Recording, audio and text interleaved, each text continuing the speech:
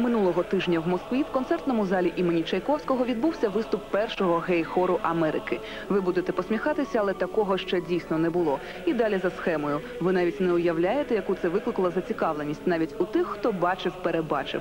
Публіка, що прийшла на концерт, розшарувалася на три умовні категорії: геї, цінувальники музики, просто любителі усього нового, і ті, що прийшли повитріщати очі на геїв. До речі, як не дивно, але всілякі голівудські фільми наплодили в подразненій уяві звичайних людей абсолютно потворне поняття про геїв. А вони, як бачите, нічим не відрізняються від звичайного чоловічого хору. Тому ці глядачі, які належали до третьої категорії, спочатку дещо розчарувалися, не побачивши усіх 135 хористів в пір'ях і шкіряних костюмах. Однак потім швидко заспокоїлись і переключилися на музику. К сожалению, у нас убили вкус к музыке классической. Я думаю, что это есть такой толчок на новый взгляд к новой музыке. То есть старый, но с новым взглядом. Это выступление, их приезд станет каким-то, может быть, э, примером, что все-таки пора становиться цивилизацией.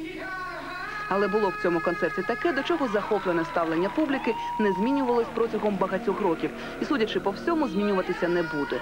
Це Алла Пугачова. Її ім'я на афішах і участь в концерті за великим рахунком і оприділило супераншлагову ситуацію в залі.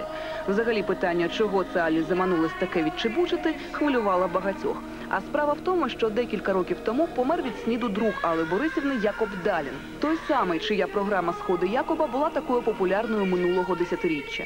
Незадовго до смерті Якоб просив Аллу виконати три його прохання: перше виступити на конкурсі Євровідіння, друге заспівати з геями, і третє вийти заміж за гея. Вот кто мужественный человек. Вот. Разрешил мне эти кружева плести. Представляешь, вот говорит, ну и хрен с ним. Главное, чтобы мы любили друг друга. Да, мой мальчик? З появою Пугачової на сцені аплодисменти практично не вщухали, а квіти несли як в свій час до мавзолею. Алла Борисівна виконала дві пісні Білий сніг модного композитора Павла Єсеніна та народну пісню Річенька. Причому білий сніг вона заспівала ще й на біс. Ну, я вообще волновалась, что песня новая совсем, и у нас репетиций практически не было. И, ну, что вообще говорить, я и слова забыла, там, могла забыть, и все. И вот м, инструментальная фонограмма «Минус», которая была оркестровой, я ее плохо слышала. То есть какие-то вещи, которые меня, конечно, волновали. Но потом уже, ведь сцена, она великая вещь. Ты выходишь, волнуешься. От этого волнения еще больше появляется что-то. Почему я люблю премьеры, и многие люди любят премьеры из-за этого.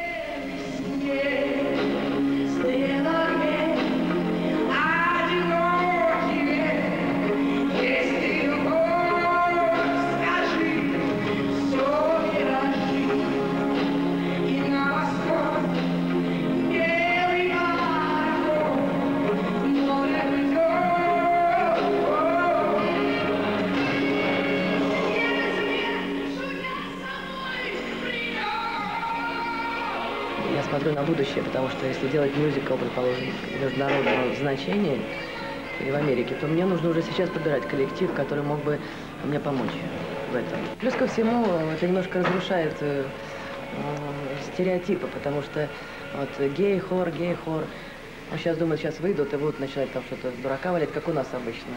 Или стебаются, как у нас говорят, или начинают там э, гипертрофированные формы какие-то принимать. А когда талантливый человек, он, видите, он и есть талантливый человек. Ну и с этого, может быть, надеюсь, отношения изменятся вообще каким-то там меньшинствам, национальным и все. По-другому немножко надо, по-другому ко всему этому относиться. Конец 20 века уже.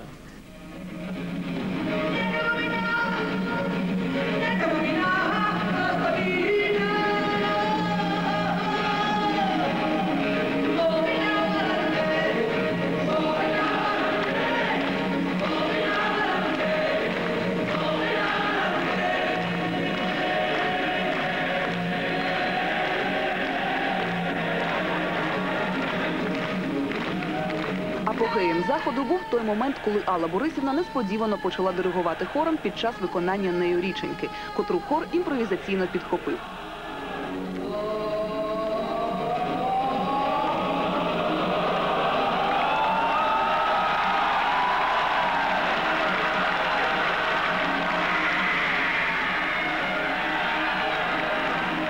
А на завершення всього вони разом заспівали відомий гімн Ми преодолеем.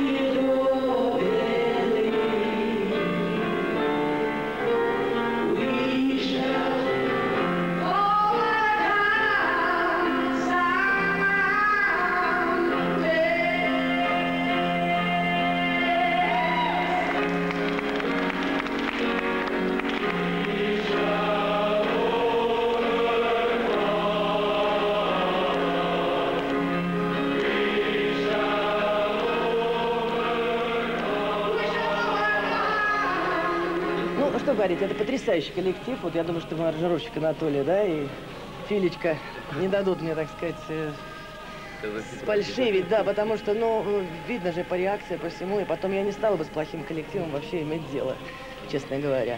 Голубые они, черные, красные, желтые, все равно. Но то, что этот коллектив достоин восхищения во всем, и в, и в артистизме, и в профессионализме, э, у них сложная, конечно, судьба, но тем более это очень, так сказать, даже почетно и приятно было выступить.